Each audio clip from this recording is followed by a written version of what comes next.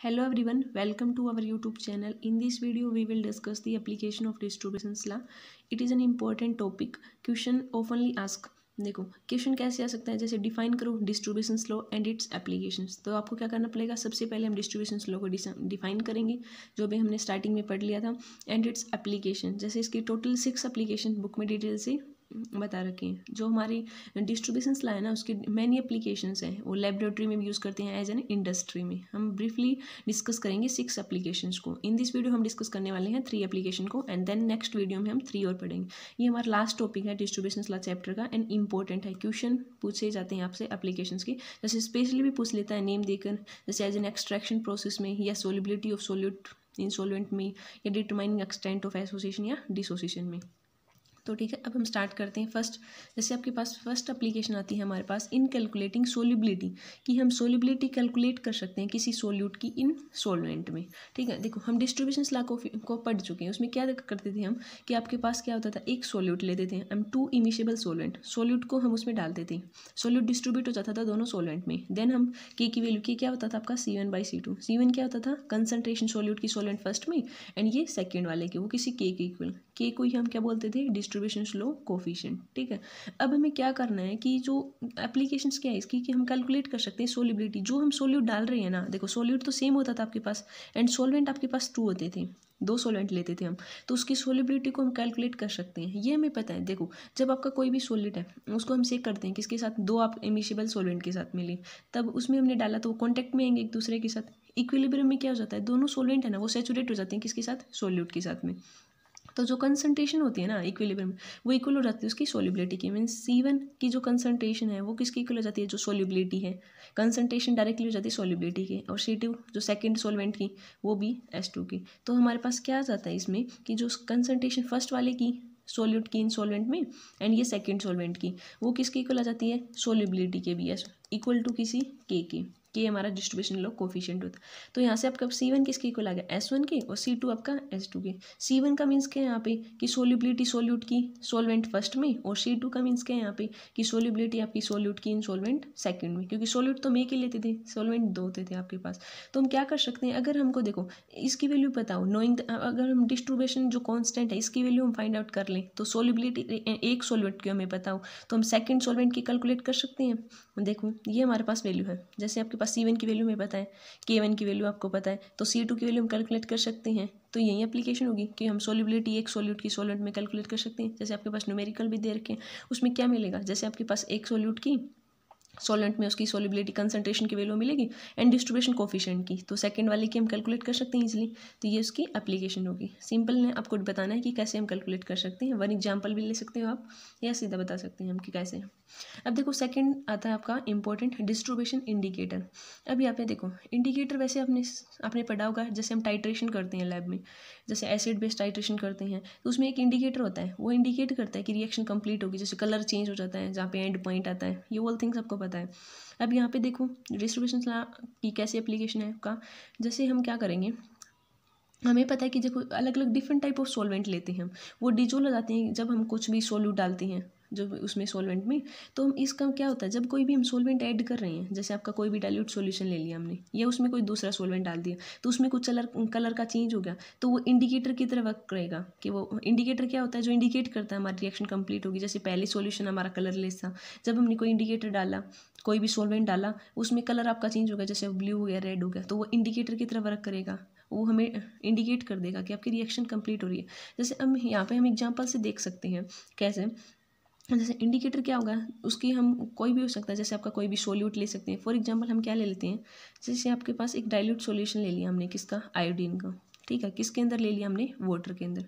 ठीक है, आपका जैसे ये हमने ले लिया आई टू है आयोडीन और वाटर इन दोनों का सोल्यूशन है ये कैसा है? हमें पता है कलरलेस होता है। कोई कलर नहीं होता आयोडीन को जब आप वाटर में डालते हो। ठीक है कलरलेस है। हमें मान लिया कि आयोडीन आपका सोल्यूबल हो गया। किसके अंदर डाला हमने? जो कार्बन डाइसल्फाइड में। अब हमें आई जो आई टी आयोडीन है और जो कार्बन डाइसल्फाइड है, इन दोनों का जो के है डिस्ट्रीब्यूशन कोफिशेंट की वैल्यू वो हमें पता है जैसे इतनी होती है फोर हंड्रेड समथिंग ठीक है? अब हम क्या कर रहे हैं कि हमने एक्सट्रीमली डाइल्यूट सॉल्यूशन लिया किसका? आयोडीन का। उसको हम एस्टिमेट करेंगे। कुछ ड्रॉप्स हम उसमें क्या डाल रहे हैं? कार्बन डाइसल्फाइड ठीक है? पहले ही आपका कलरलेस था। जब हम ये डाल रहे हैं ना तब आपके पास क्या होगा? कुछ सॉल्यूशन तो कार्बन डाइसल्फाइड का पास हो जाएगा आयोडीन में से। एंड देन बाद में आपके पास ये कैसा कलर देता है? आपका डीप वॉयलेट कलर प्रोड्यूस हो जाता है जब आप कार्बन डाइसल्फाइड को डाल रहे हो। ठीक है डी वोले और ये सॉल्यूशन को हम टाइट्रेट करते हैं किसके अगेंस्ट में? जैसे सोडियम थायोसल्फेट इसको बोलते हैं N A two S two O three ठीक है? जैसे हम टाइट्रेशन किसी के अगेंस्ट कर रहे हैं तो हम यहाँ पे इस सॉल्यूशन को टाइट्रेट करते हैं सोडियम हाइपो थायोसल्फेट ठीक है? तो अब हमारे पास क्या हो जाता है? जब तक हम इसको टाइट्रेट करेंगे कार्बन डाइसल्फाइड को इसमें डालेंगे, इसके अगेंस्ट में कर रहे हैं, तब तक आपका वोलेट कलर ना डिसअपियर नहीं हो जाता। तो यहाँ इस रिएक्शंस में आपका जो कार्बन डाइसल्फाइड है ना, जो सी एस टू वो कैसा काम कर रहा है? कैसे सर्व कर रहा है? वो एज ए डिस्ट्रीब्यूशन इंडिकेटर ठीक है? और किस टाइट्रेशन में? आयोडोथर्मिक टाइट्रेशन में। जिसमें आपके पास क्या प्रोड्यूस हो रहा है? आयोडीन को हम प्रोड्यूस कर रहे हैं ड्यूरिंग टाइट्रेशन में। तो इसकी एप्लीकेशन होगी जैसे सिंपल आपका डिस्ट्रीब्यूशन इंडिकेटर में आपको क्या बताना है? हमें पता है कि जैसे कोई भी सॉल्यूट सॉल्वेंट में डिजोल्व अब हम जैसे एग्जांपल से बता दोगे, जैसे आपका आयोडीन और वाटर का सॉल्यूशन था, ये कलरलेस था।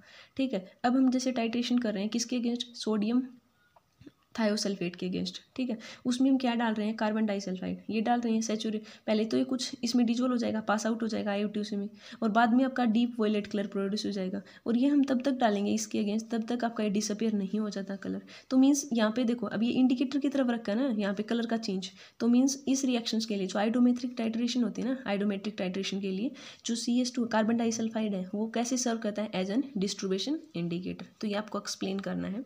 ठीक है? टू मार्क्स में पूछ लेते हैं आपसे कि कैसे हम सोलिबिलिटी सिंपल था कंसनट्रेशन डायरेक्टली सोलिबिलिटी की हो जाती है एंड ये आपका डिस्ट्रीब्यूशन इंडिकेटर में, आप एग्ज़ाम्पल के हेल्प से बता सकते हैं। अब देखो थर्ड आता है कि डिटरमाइनिंग एक्सटेंट ऑफ़ एसोसिएशन या dissociation of a solute in solute देखो लास्ट वीडियो में हमने क्या डिस्कस किया था? हमने केस पढ़ा था कि देखो, हमारी जो डिस्ट्रीब्यूशन स्लो थी ना वो इनवैलिड कब हो जाती थी? जब आपका, जब सॉल्यूट की स्टेट चेंज हो जाती थी, तब वो एसोसिएशन या डिसोसिएशन वो हमने कैलकुलेट कर लिया था, क्योंकि एसोसिएशन में क्या आया था आपके पास? C one and C two K की वैल्यू आई थी एंड डिसोसिएशन में भी हमने कैलकुलेट कर ली थी। अब हमें एक्सटेंड कि कितना आपका एसोसिएशन कर रहा है कोई भी सॉल्यूट या कितना वो डिसोसिएशन कर रहा है सोलवेंट के साथ में तो उसको हम डिटरमाइन कर सकते हैं। ये इसके एप्लीकेशन आपके डिस्ट्रीब्यूशन स्लो अब देखो, हमने देखा था कि डिस्ट्रीब्यूशन स्लो के हेल्प से जब कोई भी मोलिकुलर स्टेट है ना सोल्यूट की सोलेंट में उसको हम डिटरमाइन कर सकते हैं। सिंपल आपका जैसे ये तो डिस्ट्रीब्यूशन लॉ कोफिशेंट होता है। जैसे सी वन का मीन्स क्या होता था कि कंसनट्रेशन सोल्यूट की सोलवेंट फ़र्स्ट में और ये सेकेंड वाले उन दोनों का रेशो की, जो कि आपका डिस्ट्रीब्यूशन लॉ कोफिशेंट था। अब हमने मान लिया कि जैसे फ़र्स्ट हम एसोसिएशन का केस पढ़ेंगे। हमने देखा था कि जब कोई भी सोल्यूट था हमारा, हमने एक्स मान लिया। वो क्या दिखा रहा है आपका? जैसे एसोसिएशन एसोसिएशन में क्या होता है? जुड़ना होता है। टू पार्टिकल जैसे आपके एन एक्स पार्टिकल कंबाइन होकर कॉम्प्लेक्स बनाने एक्सन और डिसोसिएशन में क्या होता है? टूटना जैसे एक है, वो टू में डिसोसिएट हो रहा है। ठीक है? अब हमने मान लिया हैविंग इसकी मान ली कंसनट्रेशन जो सी टू है। अब हम डिस्ट्रीब्यूशन ला मॉडिफाई है, वो हम कैलकुलेट कर चुके थे कितनी आई थी, वो आपके के की value C one N N root C two equal to K अब यहाँ से देखो, अगर एन की वैल्यू हमें पता हो एन की वैल्यू हम कैलकुलेट कर लें, तब आपके पास यहाँ से के की वैल्यू निकल जाएगी। मीन्स एक्सटेंट हम डिटरमाइन कर सकते हैं इफ़ हम एन की वैल्यू पता हो तो एन की वैल्यू निकालने के आपके पास टू वे हैं। एक तो आपका होता है हीट एंड ट्रायल मेथड एक होता है लोगरिथम मेथड ये दोनों भी आपको एक्सप्लेन करने हैं। लोगरिथम मेथड होते हैं कि hit and trial method hit and trial में क्या होता है? हमें पता है कि जैसे C one by C two का रेशियो देख रहे हो जैसे न्यूमेरिकल आएगा आपके पास तो कंसनट्रेशन सॉल्यूट की सॉल्यूट फ़र्स्ट में भी मिलेगी सेकंड में भी मिलेगी। टू या थ्री आपको मिलेंगी कंसनट्रेशन की वैल्यू उनका आप रेशियो फाइंड आउट करोगे। रेशियो हम फाइंड आउट करते हैं जब के की वैल्यू अगर कॉन्स्टेंट आ जाती है मीन्स देखो फ़र्स्ट के हमने मान लिया टू पॉइंट थ्री ज़ीरो है, इसकी मान लिया थ्री वन है two point three two means ये कॉन्स्टेंट वैल्यू आ जाती है, तब हमें पता चलता है कि वैलिड हो रही है। तो अब इनकी वैल्यू जैसे यहाँ से सजेस्ट होगी कि आपके पास टू है। अगर सेम आ रहा है कॉन्स्टेंट ईटनटाइल मेथड में तो इनकी वैल्यू हम पुट करके देखते हैं कि वन टू थ्री ऐसे। एंड एक होता आपके पास लोगरिथम मेथड उसको हम देखेंगे कैसे करना है हमें। अब देखिए, अब हम हीट एंड ट्रायल मेथड में तो आप सिंपल कर सकते हो। अब लोगरिथम मेथड में क्या होता है? के की वैल्यू होती है आपके पास C one by N and root C two की। अब एन का मीन एन है देखो, इसको हम क्या लिख सकते हैं? सी वन बाई देखो एन एंड रूट मीन्स क्या है यहाँ पे? सी टू का एन एथ रूट है। वन बाई एन लिख सकते हैं इसको? Root N one by N एथ रूट होता है। इक्वल टू मैंने मान लिया के, अब यहाँ से देखो सी वन की वैल्यू क्या होगी आपके पास? के इंटू में। सी टू की power one by N into में। ये आ गया, ठीक है? के तो हमने कर लिया। अब आप टेकिंग लोग ले लो दोनों साइड तो क्या हो जाएगी आपके पास? Log C one equal to आ गया। लोग लेंगे तो ये पावर आगे आ जाएगी वन बाई एन तो ये हो जाएगा वन बाई एन लोग सी टू प्लस में लोग ए हमें पता है कि लोग ए इंटू बी क्या होता है? लोग ए प्लस लोग बी तो कर लिया हमने सिंपल अब हमने कर दो एक्सपेरिमेंटल वैल्यू आ गया आपके पास, एक तो कांस्टेंट क्या आ गया सी वन एक सी टू तो कैसे करेंगे हम? जैसे एक तो आ गया आपके पास लॉग सी वन की वैल्यू क्या होगी? One by N log C two है प्लस में लॉग के ठीक है, इतना कर लिया। अब हम क्या करेंगे कि ये तो फ़र्स्ट वाले के लिए हो गया। जैसे ये तो हो गया फ़र्स्ट के सेकंड के लिए करेंगे, वो भी ऐसे ही। लोग सी टू क्या हो जाएगा आपके पास? वन बाई एन लोग सी वन और प्लस में क्या है? लोग के अब देखो, ये क्वेश्चन फ़र्स्ट मान लो सेकंड इसमें से ये सब्ट्रैक्ट कर दो तो क्या जाएगा?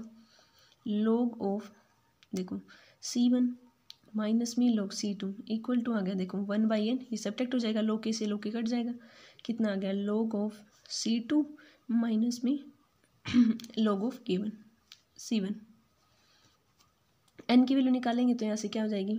देखो लोग ऑफ़ सी टू माइनस में लोग ऑफ़ सी वन ये हो जाएगा लोग ऑफ़ सी वन माइनस में लोग सी वन ठीक है। अब सी वन की टर्म भी मान सकते हो या इसको डैश में ले लो, जैसे ये सी वन के लिए था ना आपने ये सी वन डैश मान ले, या सेकेंड टर्म के लिए सेम हो जाएगा सी टू तो यहाँ पे आपका आ जाएगा सी टू माइनस में सी टू डैश यानी सी वन माइनस तो यहाँ से हम एन की वैल्यू निकाल सकते हैं, क्योंकि हमें सी की वैल्यू मिलेगी कंसनट्रेशन की तो हम उसका लॉगरिथम ले लेंगे. तो यहाँ से एन की वैल्यू ये एन की वैल्यू हम यहाँ पुट कर देंगे तो ये रेशियो निकल आएगा आपका. तो ये टू मेथड भी आपको एक्सप्लेन कर करनी है। जैसे आपको डिटरमाइन आ जाए कि डिटरमाइन का एक्सटेंट ऑफ़ एसोसिएशन या डिसोसिएशन सोल्यूट का इन सोलवेंट में। तो आप पहले बताएँगे कि हम कैसे होता है एसोसिएशन का केस आपको डिस्कस जैसे ये वैल्यू आती है आपके पास, यहाँ से जो एन की वैल्यू हम कैलकुलेट कर लें तो आपके तो उसको हम टू वे हो सकते हैं, या तो हम लोगरिथम में या हीट एंड डायल मेथड होता है। तो आपको दोनों एक्सप्लेन करने हैं। तो इन दिस वीडियो हमने क्या डिस्कस किया है कि थ्री एप्लीकेशंस को पढ़ा है। नेक्स्ट थ्री जो वीडियो होगी, हम उन थ्री एप्लीकेशंस को पढ़ेंगे। उसमें आपका एक डिस्ट्रीब्यूशन इंडिकेटर है। एंड डिग्री ऑफ़ आइडलाइसिस वो भी एक इंपॉर्टेंट अप्लीकेशन है आपका। क्वेश्चन पूछे जाते हैं इससे। If you have an query please comment it I hope आपको समझ आया होगा। Thanks for watching my channel